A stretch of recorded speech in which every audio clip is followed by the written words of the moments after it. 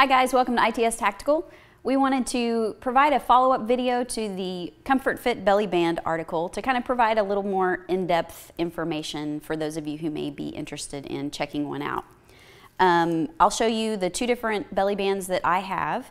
I'll show you more in depth the modifications that I've made, as well as point out the stitching detail that I talked about modifying uh, or having to restitch after some wear.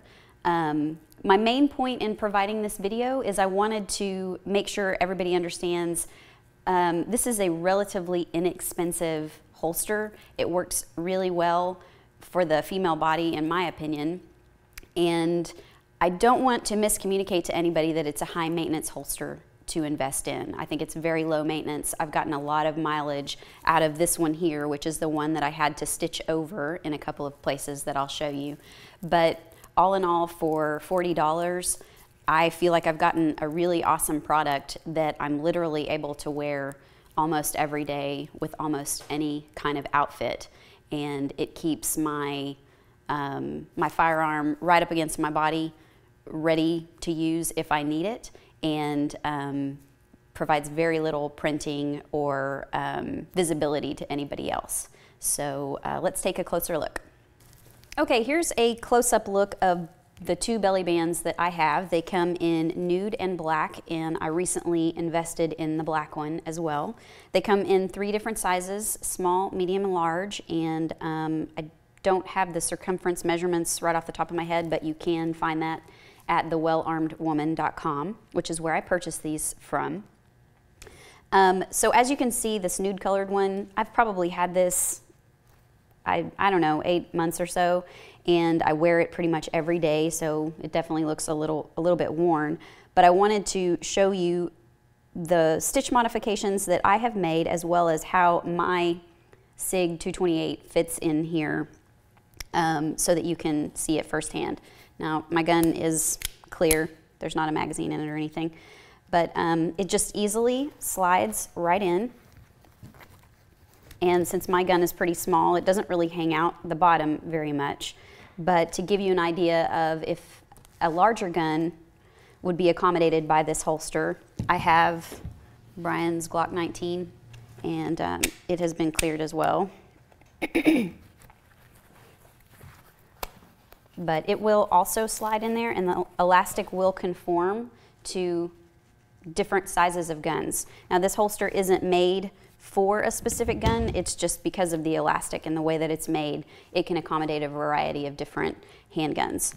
Um, the stitching that I pointed out in the article that I had to go over and add some support back into this after wearing it was right here. This stitching had come loose. Um, I have a sewing machine at home, so it was very easy. It just took a few minutes for me to overstitch that and lock it back into place, but it could also be done by hand. This elastic is not so thick that you, you wouldn't be able to restitch that if you needed to by hand. Um, I also restitched this bar right here because this is where I made my, my modification to tighten up the circumference as I had mentioned in the article, these the smallest size this comes in is a size small, and I think the beginning circumference is a 28, which worked really well, 28 inches, which worked really well for me right out of the package, but as I kept wearing it, month after month, it began to stretch out just a little bit. Not so much that it was unwearable, but I could no longer shift the band up as high as I like to wear it um, above my stomach. And depending on my outfit, I, I scoot it down to be right along my, my waistline, but I tend to wear it a little bit higher than that. That's just what's most comfortable for me.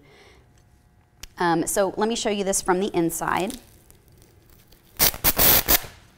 and you can see where I took up this section of fabric right here. And I did this on both the, um, the black and the nude color band.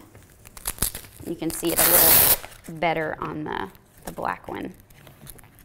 I actually did it in a different space on the, uh, the black band, and that's just because the black band, since it's newer, the compartments seem to be a little bit different in spacing, so I didn't have the same dead space as I did here. But what I, what I did, this is right by the closure, I just folded over the um, elastic where it's in a single layer. There's lots of double layered sections as well. Um, I just folded that over and, and stitched right along there to give me a little more tightness in circumference. Um, on the black band, as well as the nude color band, I also stitched together this opening that was the double layer of elastic, um, stitched the bottom so that I could keep my magazine here. And the reason for that is because, you know, my gun goes in this pocket and I wanted to keep my magazine right next to my pistol in case I, I do ever have to draw it. Um, the way that I wear this band, if I were to put my magazines in the pockets that are designed for extra magazine storage, that would end up being all the way around to my back. And this is how I, I wear the band. So my, my gun is here, my magazine is here, and the extra pockets for magazines are way back here.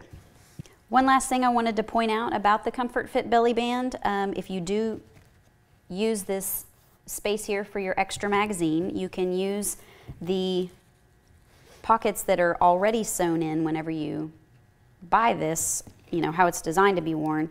Um, there's a little bit of Velcro on this pocket. It creates two channels. Uh, plus you have some space underneath the Velcro from here to here. You can use that to carry your IDs, some cash, um, anything like that in case you don't want to carry a purse with you um, or you don't need to. I use this when I go walking. Um, I don't jog, so I haven't tested that out. There probably isn't a whole lot of retention, so I wouldn't advise running with something like this unless you have um, one of those really tight exercise tops over top of it that would really give you added um, structure. But if you're like me and you you know, or just going outside to walk the dog or, you know, whatever, leisurely exercise, um, I think this is a, a, perfect companion holster for that type of activity. Um, it was $40.99, I believe, at thewellarmedwoman.com. I think it's a great investment. Um, I've gotten a lot of wear out of it, and um, it's easy to modify if you need to make it a little bit smaller or add some reinforcement. Please let us know if you have any questions or comments, and thanks for watching.